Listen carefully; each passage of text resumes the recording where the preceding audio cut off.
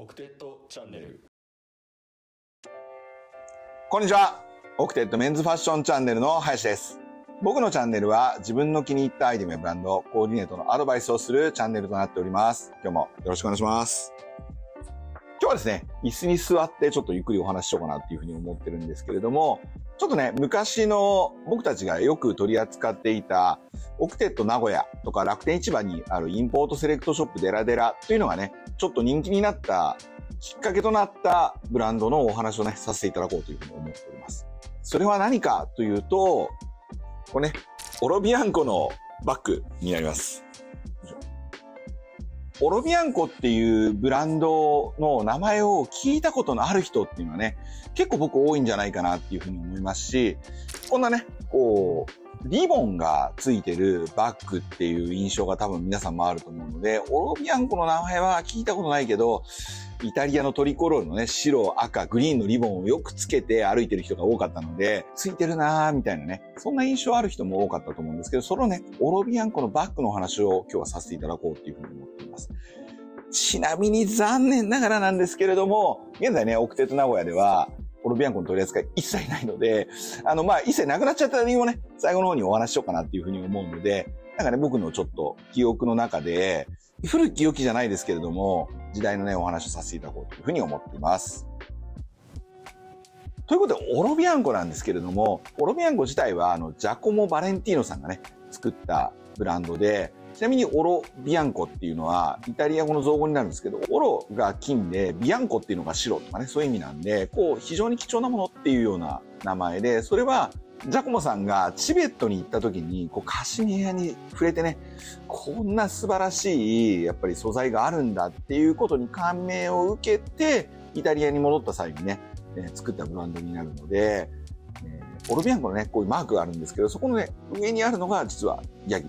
カシミヤのね、動物が入ってる、そんなね、マークだったりします。こんなオロビアンコなんですけれども、僕たちは本当に日本にほぼ入ってない状態、そんなにみんなが知らない状態の時から、実はオロビアンコさんの商品を紹介しておりまして、まあ実はね、インポーターさんがいて、そのインポーターさんと一緒にね、オロビアンコのバッグを紹介することになるんですけれども、これがブランドがブレイクすることかっていうのを、本当に痛感したブランドで、最初はね、そんなに売れてるわけじゃなかったんですけど、途中からもうびっくりするぐらい売れて、商品が入ってきます。入ってきたらすぐ売れます。その後、ずっと今度の新作の入荷はいつですかって問い合わせが来て、ひたすら答えますみたいなね。でも商品そんなに入ってこないから、入ってきたらすぐなくなりますみたいなのを繰り返してる時期があって、ブランドがブレイクするってすげえなと思わされた、えーブランドですし、実際僕たちあの、ジャコモさんとも結構仲良くさせていただいていて、まあ写真なんかでね結構あるんですけど、ちなみにあの、今あの、珍しいカモフラネクタイしてるんですけど、これもう引っ張り出してきまして、これジャコモさんにもらったネクタイで、まあ見えないですけどね、オロビアンコってあるんですけど、あの、ヒロこれもしとけよ、つって、ありがとうございます、つって、あの、もらって一回もしなかったんですけど、今日とちょっと、あの、タンスから引っ張ってきてですね、今日してみてお話しさせていただいてるんですけど、本当結構ね、感謝してるんですね、ジャコモさんには。やっぱり最初に、こう、イタリアのバッグの良さっていうのもそうなんですけど、イタリアってこういう良さなんだなっていうのをすごく感じさせてもらって、それは何かっていうと、ジャコモさん自身がデザイナーだってこともあるんだけど、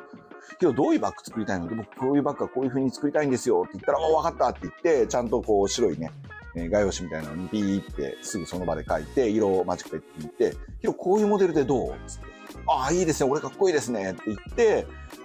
それでね、じゃあこれはこういう色とこういう色とこういう色にして作ろうよって言って、別注作っていただいて、で、日本に入れてね、それを販売させていただくってことを何回かさせていただいてたんですよね。もちろん、ある日、やっぱりブレイクする時が来たので、そこから先はそんなこといちいちやってられないから、基本的にはあのメニューの中で選ばせてもらうっていうことがあったんですが、こういうね、こう、ビョンって伸びる瞬間を体感させてもらったっていうのは、すごく嬉しかったですし、あとね、もう一個、商売の中で、イタリアってこういうもんなんだなって感じさせてもらったことが毎回あって、すごく多いパターンの中から、もう素材だけで多分何百種類ってある中から、色柄を合わせてですね。素材で、例えば15型、そのに15色あったらもう100超えてきますんで、その中からいちいち選ぶんですよね。これはあの人気のアリンナっていう形なんですけれども、メインのね、素材選びます。この紐、ハンドル選びます。このパイピングのレーザー選びます。ジップ選びます。ジップの中の、まあ、裏地をね、えー、デザイン選びます。で、これでバッグを作らせていただいてたんですけど、まあ、ロットがあるんで、ロットごとに作らせていただいてたんですけれども、すっげえ時間かかるんですよ。これ一個決めるのに。あの、マジで。びっくりするぐらい時間かかるんですけど、びっくりする時間かかって、オーダーシートをもらって、ああ、楽しみだなと思って日本に帰ってくるんですけど、で、まあしばらくね、やっぱり4ヶ月5ヶ月後に商品が入ってきて、ああ、やっと来たかと思って中を開けると、まあ、大体違う商品が入ってるんですよね。まあ、違うはちょっと言い過ぎなんですけれども、自分たちがオーダーしたものと全く同じってことはあんまりなくて、微妙に違うんですよね。お互いかっこいいからこれにしようねって決めたはずなんですが、入ってくると違う。で、まあもちろん違うから、これ違いますよねって、こう、ジャコモさんに聞くと、あ、そうそう、ごめんごめん、これ違うんだよね、つって。でも、あの、僕はこっちの方がかっこいいと思ったから、変えといたっていうね。そう言われると、まあ、なかなか、いや、これオーダーと違うんだけどな、みたいなことが言えなくて、まあまあ、そうですね、つって、まあ、その頃も本当によくオーロビアンゴのバッグ売れていたので、別に、それはそれでね、確かにかっこいいから売れていくんですけれども、イタリアだな、これがイタリアなんだっていうね、ことをすごくこう、勉強させてもらって、いっぱいね、こう、楽しいものさせてもらったブランドですね。で、さらにやっぱりジャコモさんも独創性のあるバッグとか結構作ってくださっていて、その僕がもう一切使ってませんが、あの、捨てずにずっと持ってるバッグがあって、これはアダメルドっていうバッグなんですけど、これも内用に作ってもらったバッグなんですけれども、パーティションがね、2個あって、間にこう、雑誌とかね、新聞とかを入れる隙間があるっていう、そういうね、二層式のブリーフケースなんですけれども、あんまりこの時代にね、ちょっと前にこういうバッグはなくて、そうしたら無駄に間があるっていうね、あの、バッグこの形面白いなと思って、このね、アダメゾっていう形のバッグは本当によく売れて、実際僕たちも何回かフォローしたんですけど、それ以降あの、多分、多分なんですけれども、制作に非常に手間がかかるということでですね、あの、二度と作ってもらえないモデルになったっていう、あの、本当に残念な思い出があって、で、まあ僕もね、捨てずにずっと取ってある。でそういうオロビアンコみたいなね、こう、ブランドがあって、で、ここからですね、僕たちがなぜこんなに、まあ特にね、バイヤー林としてはめちゃくちゃ思い入れのあるブランドだったので、まあもちろん創業デザイナーであるジャコモさんとも仲が良かったですし、あの、実際ね、イタリアに行けば、ブレイクしていく瞬間とかね、ちょっと広工場買ったんだよ、つって。マジですか？つって、どんな工場ですかって言ったら、カーボンを加工する工場なんだよって言って、んババックですよね？みたいな。いや、ここはね、カーボンが作れる最先端の工場なんだっつって、で何をジャコモさんがやったかっていうと、あ、ちなみにそれはあの、フェラーリとかのモノコックをちょっと作ってる工場だったみたいで、実際にカーボンをこう形状を変えれるっていうことで、カーボンで作ったスーツケースとかね、ジェラルミンケースとかを作って1個80万とか100万とかでね、売っていて、で、実際それでピッティのね、テクノモンスターっていう名前で出てたりした、その本当に買った瞬間にね、連れてってもらったりして、で、これヒロ、これ絶対売れるからやってくれよって言われて、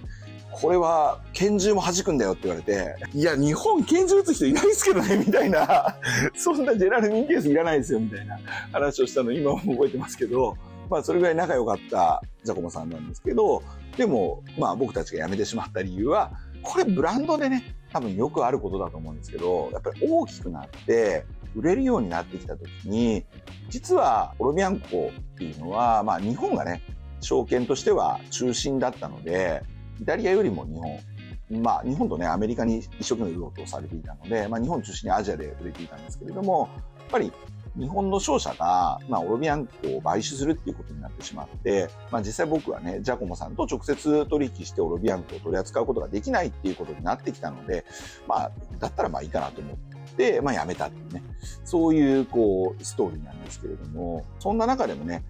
やっぱりこういういい思い出があるので、まあこれがね、あの、今日僕がこの動画を撮らせてもらってる意味なんですけれども、今は、やっぱりこう2年間、イタリアに全く行けてないですし、もちろん情報はね、集めているんですけれども、まあ以前ね、このオロビアンコと全く同じことをできるかって言ったら、これは多分できないと思うんですよ。もうこれいろんな偶然だったり、運が良かったりとか、そういう中でこの爆発的に伸びるっていうのを体感できたんですけれども、ただ、みんなが知らないブランドで、あのみんなが知らないもの、人たちのアイテムを日本に紹介して、そして日本の人に喜んでもらうっていうのは、やっぱりどこかでもう一度やってみたいなっていうふうに思っているので、今度の6月ピッティっていうね、展示会のイベントがあるんですけれども、まあそこには残念ながら行かないんですが、2023年はね、僕もまたイタリアに行くことになると思うので、その時にはね、新しいブランドだったり、新しいこうデザイナーさんだったりとあって、またね、皆さんにこんなアイテムがあるんだっていうのね、ご紹介できたらいいなと思いますし、世間にはブランドがたくさんありますけれども、昔から知ってるんだけど、昔はこんな誰も知らないブランドだったのに、今はこんなみんなが知ってるブランドに成長したよねっていうことをね、あの僕たちももう一度できたらいいなっていうふうに思ってますので、これからもね、オクテッドチャンネルをね、応援していただけたらと思います。まあ本当はね、オロビアンゴの話はもっとネタめちゃめちゃあるんですけれども、まあ、正直ね、まあ、喋れないですね。ある意味、ちょっとある意味喋れないネタが多すぎて、なんかすごい中途半端な動画になってるような気もするんですが、もしね、あの、ご質問とかありましたらお答えさせていただきますし、他のね、ブランドのお話もまたさせていただこうと思いますし、コーディネートのお話もさせていただこうと思いますので、ぜひね、